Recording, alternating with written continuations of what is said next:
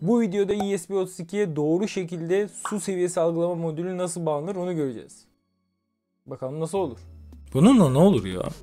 Şimdi burada gözüktüğü üzere zaten ekstradan bir iki elemanımız var. Şurada arada bir tane transistör var. Bu BC547. Bir tane direnç var. 1.5K elimde o varmış en düşük. Normalde 1K ideal olurdu da. Mantığı şu. Bu sensör normalde 5 voltla çalışmak üzere tasarlanmış. Sürekli açık bırakırsak elektroliz yaptığı için yani suyu oksijenle hidrojen ayırıyor. Yani fen dersinden hatırlayanlar olur. Bu sefer ne oluyor? Üzerindeki bu kontaklar korozyona uğruyor. O yüzden de zaman içerisinde bunun bozulmaması için bizim bunu sadece ölçüm anı açıp hemen kapatmamız lazım. Ömrünü uzatmak için bu %90-95 belki uzatacak ömrünü. ESP32'nin de buradaki bir tık kötü yanı Arduino'ya göre 5 volt değil 3.3 volt üzerinden çalışıyor. Yani ben burada herhangi bir ayaktan tetik versem bu sefer ne olacak? 3.3 volt verecek. O da bize düzgün bir çıkış sonucu vermiyor. Yani 300'de falan kalıyor verdiği çıkış. Bu sefer de hassasiyet değeri düşüyor. Belki o modülün %30'unu falan kullanabiliyor. Suyu tam ölçemiyoruz yani. O yüzden de ne yaptık?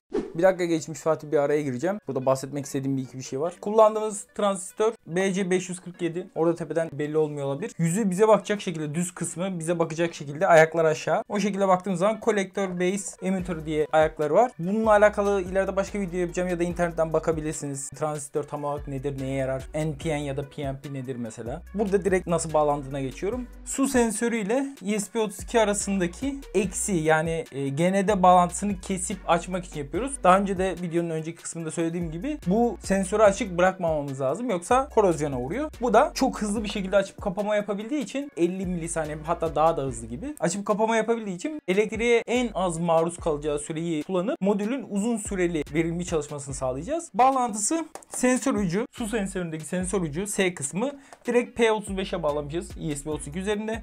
Artısını direkt ESP32'de yine 5 volta bağlamışız. Bu 5 voltluk bir sensör. Eksi kısmında sadece önemli bir kısım burası. Su sensöründeki eksi GND'yi buradaki transistörün kolektörüne bağlamışız. Transistörün yine base'ini ESP32'nin 27. pinine bağlamışız ama arada 1.5K'lık bir direnç var. Bu değişebiliyor. Bendeki yine güvenli. Aynısını kullanabilirsiniz. Hiçbir sıkıntı olmaz yani. Ama daha düşük ya da daha üst bir dirençte kullanabilirsiniz. Çok yukarı çıkmamak şartıyla. Mesela 2.2K'da muhtemelen iş görecektir ya da 470 ohmluk K değil 470 ohmluk bir dirençte iş görecektir. Sonrasında yani base'ten dirence, dirençten 27. pine gidecek. Böylece ne oluyor? Buradaki pine fazla akım gelmesini önlemiş oluyor. Sonrasında da emitter ayağında direkt ESP32'nin GND yani eksi ucuna bağlamışız. Ne oluyor? Su sensörünü açmak istediğimiz zaman 27. pin üzerinden bir akım veriyoruz. Bu transistör aktif yapıyor. Transistör bu GND ile su sensör arasındaki GND bağlantısını kuruyor. Böylece devre tamamlandığı için sensör aktif hale geliyor. Hemen okumamızı yapıyoruz. Sonra 27'yi tekrar kapattığımız zaman da şurası kesilmiş oluyor. Bu sefer ne oluyor?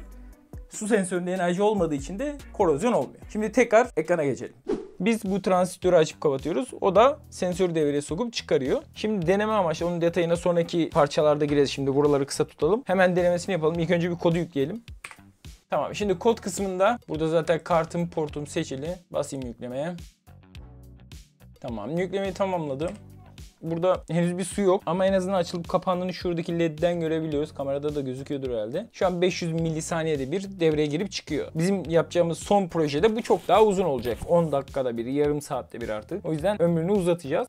Tekrar koda gelelim. Şimdi seri porttan bir değerlere bakalım. Şu an su değeri 0 olması gerektiği gibi yani. Şimdi biraz su ekleyelim bakalım sonra bu değere bakalım. Hemen şurada en azından bir dokunacak kadar sadece bir su ekleyeceğim. Dibine dokunacak kadar. Sadece ucu ucuna değiyor. Şimdi baktığımız zaman değerlerimiz 1300, 1320, 1340. Bunun stabilleşmesi biraz zaman alabilir. Örnek veriyorum özellikle yukarı seviyelerde mesela doldurdukça suyu belli bir süre genelde 30 saniye civarından sonra asıl değer ortaya çıkar. Yani direkt 3000'e çıkabilir o sonra 2200'lerde falan sabitler. Sizdeki modüle göre de değişebilir. Koyduğunuz dirence göre de aynı şekilde. Biraz daha dolduralım mesela sensörün gidişatına bakalım.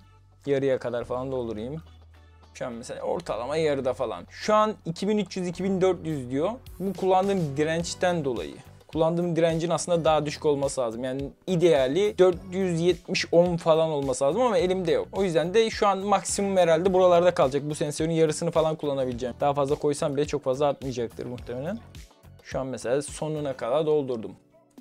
2600-2700 maksimum veriyor. Şimdi bunun amacı Bir, sensörümüzü test etmek çalışıyor mu? Gördük çalışıyor. Maksimum değerimiz ne? Onu gördük. Bendeki mesela 2700. Ondan sonra minimum değerimiz 0 ama biz büyük ihtimalle 800 bin arası falan yaparız onu. Çünkü sensörün o kabın büyük ihtimalle dibine dayanmayacak. O yüzden de sıfırı değer kabul etmeyeceğiz. %10'dan aşağısını mesela bitik olarak kabul edebiliriz. Bu video ve bunun gibi birkaç son yaptığım video toprak nemi algılama sensörü, su seviyesi algılama sensörü, SD kart modülü, web server, röleler gibi videolar aslında büyük bir video projesinin parçaları. İleride USB 32 kullanarak bir otomatik sulama projesi yapacağız. Bunu kaçırmak istemiyorsanız kanala abone olun ve takipte kalın.